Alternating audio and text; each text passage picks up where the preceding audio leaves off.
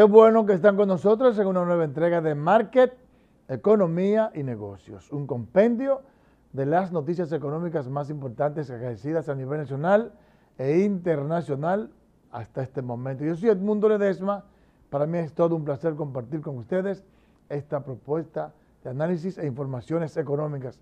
De inmediato con las informaciones, porque tenemos muchas informaciones importantes y porque tenemos además una interesante entrevista.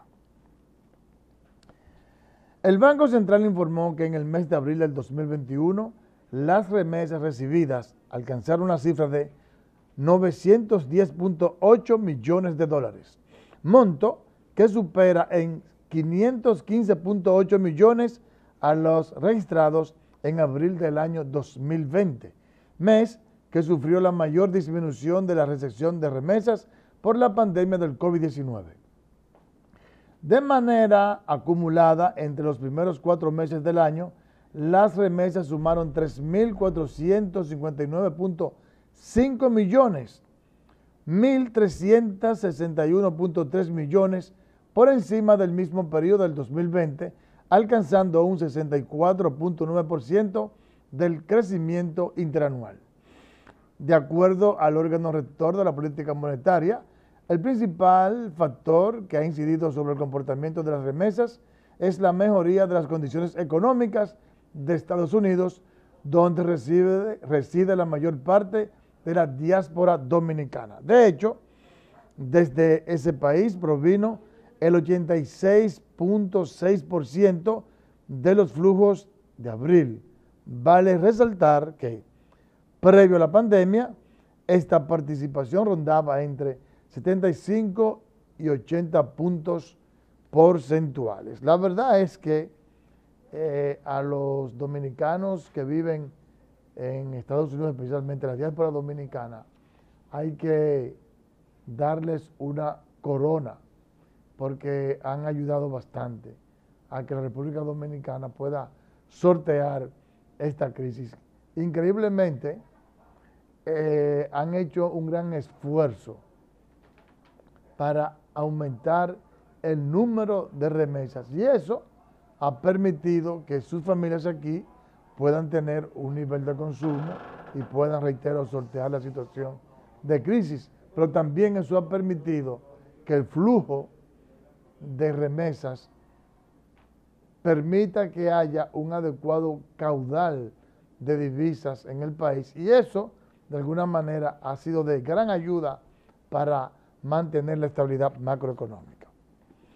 El economista Dari Javier Cuevas considera que en este momento no es aconsejable una reforma fiscal. Veamos una historia con nuestro compañero Ernesto Trinidad. Expresó que si el gobierno cree que procede una reforma fiscal, tiene que medir las consecuencias económica y política señaló que la decisión más sabia y menos lesiva es que las actuales autoridades gubernamentales tienen que continuar con el endeudamiento. Porque hay que financiar el presupuesto. Entonces, aunque en el largo plazo, mediano y largo plazo, el gobierno terminaría pagando ese endeudamiento público con impuestos, pero lo, lo va a trasladar, a desplazar hacia futuro, menos lesivo, la economía estaría recuperándose. El también catedrático indicó que las proyecciones que hay para que la economía dominicana vuelva a los niveles de 2019 sería para finales del segundo cuatrimestre de 2023. Lo ideal sería ver el contenido de la reforma y que el gobierno se proponga entonces eh, darle un giro al sistema tributario dominicano de pasarlo a un sistema regresivo que pagan, pagamos todos iguales a un sistema progresivo, ¿verdad? Donde los que más tienen son los que más pagan. Javier Cuevas explicó que no está mal que el gobierno lance perspectivas positivas, pero piensa que debe fijarse en no ver que un déficit presupuestario es algo malo. El también economista Antonio Siriaco, que además es analista de este programa considera, al igual que Darío Javier Cueva, que no es prudente una reforma fiscal. Piensa que en este momento el gobierno es quien debe de sacrificarse, aumentar el gasto público y dejar para el 22, finales del 22 o inicios del 23, el tema de la reforma fiscal. Tenemos una historia nuevamente con Ernesto Trinidad. Siriaco Cruz cree que el país podría verse en el espejo de Colombia en caso de que se embarque en echar hacia adelante las discusiones de una reforma fiscal. Todavía el tejido social en la República Dominicana no está lo suficientemente fortalecido. Hay, un grupo importante de más de 50 mil personas que no han podido eh, reintegrarse a sus labores, a su trabajo. Expresó que hay que tener en consideración que la República Dominicana tendrá un golpe de suerte porque se beneficiará durante este año y el próximo de un ciclo expansivo de la economía estadounidense. Hasta que se revise eh, todo el documento, los documentos y la propuesta, y a partir del año 2023, evidentemente que se pueda ejecutar, porque yo creo que hay que consolidar la recuperación. De su lado, el presidente de Detallistas Unidos, Ricardo Rosario, es partidario de la consolidación de un gran pacto económico y social que pueda dar al traste a una reforma fiscal. Que elimine algunas distorsiones que aún nos quedan en en la fiscalidad dominicana que podamos rebajar tasas en vez de subir tasas y que podamos ser más eficientes en el cobro de los impuestos. Manifestó que el gran reto de los diferentes sectores es cómo se va a abordar este tema sin que la población se escandalice y que se generen disturbios callejeros. El expresidente Hipólito Mejía advirtió que no respaldará a nadie que haya metido la mano y que haya actuado de manera corrupta en el Estado Dominicano. Una historia con Rosalvo Escalante. Gracias, buenas tardes. Así es, el líder PRMista y expresidente de la República, Hipólito Mejía, manifestó este lunes que todo aquel que robe al Estado y cometa actos de corrupción debe pagar, al tiempo que llamó a la justicia a reafirmar su compromiso con una sociedad que a su juicio va en detrimento. Y yo espero que la justicia esta que me metió mis cinco años y esta vez por el maldito Chapo, cumpla con su cometido de hacer la cosa como Dios manda. Y no me arrepentí, me sentí mal pero aquí tiene que existir, tiene que darse el seguimiento a los planes, programas y proyectos y a la justicia dominicana debe actualizar su compromiso con esta sociedad que va en detrimento rápido hacia la hecatombe. Mejía se refirió al tema luego de ser abordado respecto a los actos de corrupción que involucran a militares cercanos al expresidente Danilo Medina al encabezar una ofrenda floral como parte de los actos organizados por el Instituto de Formación Política, que con su nombre honra al extinto dirigente PRDista José Francisco Peña Gómez, en conmemoración del 23 aniversario de su muerte, el exmandatario afirmó que dentro del propio PRM, partido al que pertenece, hay quienes han traicionado los ideales del extinto líder de masas. yo no me canso, no me canso de decir que cada cual es dueño de sus actos. Cada quien es dueño de sus actos. El que no cumple con los postulados y el ejemplo de Peña Gómez es su problema. Hay, muchos que no lo han cumplido. De lo nuestro, de lo de ahora, de lo que sea cuánto. Durante los actos que incluyeron otra ofrenda floral por separado encabezado por Peggy Cabral, viuda de Peña Gómez, se recordó el legado del más grande líder de masas de la historia política dominicana. Yo pienso que José Francisco Peña Gómez dignifica a los pobres de la República Dominicana y a los sectores más humildes de que pueden llegar, no hay límite para ellos. Yo pienso que José Francisco Peña Gómez es la superación personal hecha persona. Hipólito Mejía reafirmó su lealtad con Peña Gómez y afirmó que el extinto líder deja un legado que fortalece la democracia dominicana. Es toda la información que tengo por el momento. Con esto yo retorno con ustedes al set de noticias. Gracias a los Fíjense, señores, todo lo que hablamos aquí de crecimiento económico, de economía, de medidas, de política, de infraestructura, de turismo, todo eso de alguna manera se va al carajo para la población. Esos beneficios pingües que desarrolla la, en su actividad económica la República Dominicana se va a pocas manos. Unos privilegiados del sector empresarial y otros privilegiados del sector político que a través de la corrupción y a través de los acuerdos eh, que realizan entre ellos y a, y a través del mal manejo de los fondos del Estado, ellos se benefician, pero la gran mayoría de los dominicanos está cogiendo lucha. Eso es porque impera la corrupción.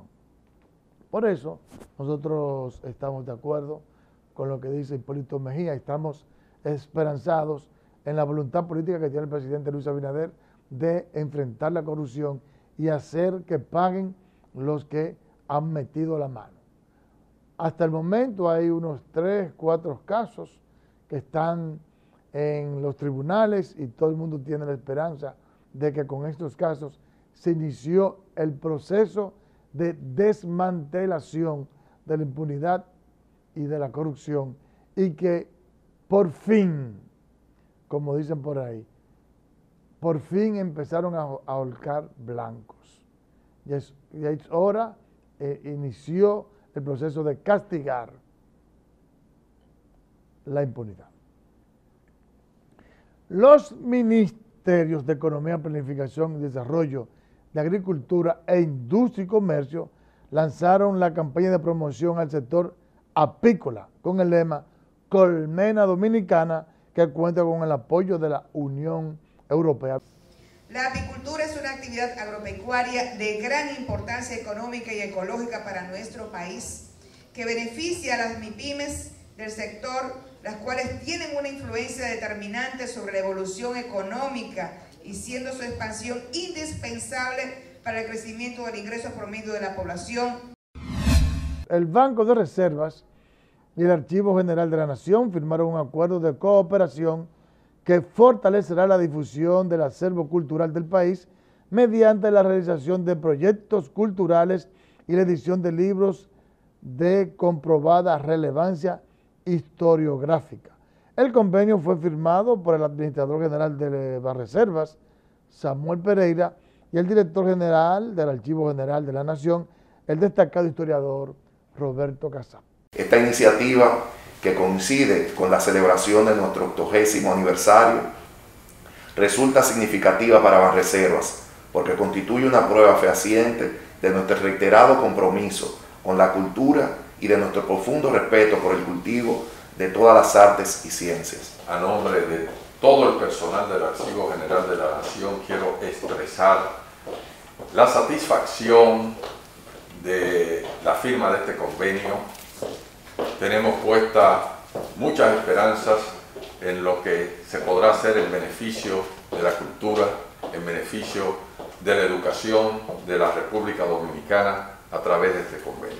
El administrador general del Banco de Reservas anunció que dentro del programa se tiene previsto publicar la obra completa del poeta nacional Pedro Mir de vuelta en Market, Economía y Negocios. El Instituto Duartiano rechazó este lunes las pretensiones del gobierno haitiano de desviar el río Masacre, considerando que con esta acción el presidente haitiano Jovenel Mouse busca conseguir respaldo popular. Asimismo, demandó de la alcaldía del Distrito Nacional la intervención del Parque Duarte, ubicado entre las calles Padre Villine y Arzobispo Noel en la zona colonial.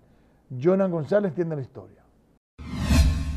El Instituto Duartiano manifestó su rechazo a las pretensiones del gobierno haitiano de desviar el curso del río Masacre en suelo haitiano. La institución que busca preservar los valores del patricio Juan Pablo Duarte llamó al gobierno a mostrarse justo y enérgico en la defensa del recurso natural que nace en la República Dominicana los propios parceleros, los ganaderos, los ciudadanos que están en frontera han explicado los niveles de daño que produciría el desvío de ese cauce, independientemente de lo que significa no solo para el ecosistema, sino para la propia seguridad y para la vida de los dominicanos. A juicio del presidente de la institución, Wilson Gómez Ramírez, el desvío del río es una acción propiciada por el presidente haitiano Jovenel Moïse para calmar las protestas en su contra que se han estado registrando en su país. Por otro lado, Gómez Ramírez se quejó del abandono en el que se encuentra el Parque Duarte de la zona colonial, donde supuestamente las mismas autoridades municipales han retirado banderas dominicanas colocadas por el Instituto Duartiano. Nosotros entendemos que este lugar tiene que ser objeto de cuidado, de vigilancia, de iluminación y de tratamiento. En el caso del referido parque, el Instituto Duartiano se comprometió a colocar cámaras de seguridad y una verja perimetral que resguarde la estatua del patricio que se encuentra en el lugar. Gracias, Jonan. Ahora vamos con el resumen de noticias internacionales. A la vuelta, una interesante entrevista. Producto Interno Bruto francés crecerá apenas 0.25% en el segundo trimestre, según el Instituto Nacional de Estadística, ya que la desescalada programada por el gobierno para mayo y junio compensará muy levemente la caída por el endeudamiento de las restricciones que hubo en abril. El Instituto Nacional de Estadística explicó que la actividad se situará en el segundo trimestre globalmente en 4% por debajo del nivel anterior a la crisis. Los intercambios comerciales de China con el resto del mundo aumentaron un 26.6% interanual durante el mes de abril. Así, durante el cuarto mes del año, el volumen de comercio exterior chino alcanzó los 3.149 millones de yuanes. Las estadísticas oficiales muestran que las exportaciones crecieron un 22.2% interanual en abril, mientras que las importaciones aumentaron 32.2% interanual en ese periodo. Las ventas del comercio minorista brasileño cayeron un 0.6% en marzo respecto a febrero debido a las restricciones impuestas en una parte de los estados del país para contener el fuerte avance del COVID-19 durante la segunda ola de la pandemia. Las ventas de comercio, sin embargo, aumentaron 2.4% respecto a marzo 2020, el primer mes del inicio de la crisis sanitaria en el país suramericano, uno de los más castigados por el coronavirus a nivel mundial, según el Instituto Brasileño de Geografía y Estadística. Y la tasa de inflación mexicana aumentó en abril hasta 6.08%, la más elevada desde finales de 2017, después de que los precios subieran en el cuarto mes del año un 0.33%. Abril se convierte así en el cuarto mes consecutivo de aumento de la tasa de inflación, después de que en enero subiera hasta 3.54%. En febrero lo hiciera hasta 3.76% y en marzo escalara hasta 4.67%. En abril 2020 los datos correspondientes reflejaron una caída del 1.0% en el índice de precios al consumidor, con lo que la inflación quedó en 2.15%. Y el Banco Central de la República Dominicana reportó que en abril las remesas recibidas alcanzaron 910.8 millones de dólares, monto que supera los 515.8 millones de dólares a las que llegaron en abril 2020 mes en el que se registró la mayor disminución de la recesión de remesas por la pandemia del COVID-19. El acumulado de los primeros cuatro meses sumó 3.459.5 millones de dólares. El Banco Central informó que se trata de un monto que supera los 1.361.3 millones en el registro de enero a abril del pasado año, lo que representa un aumento interanual de 64.9%.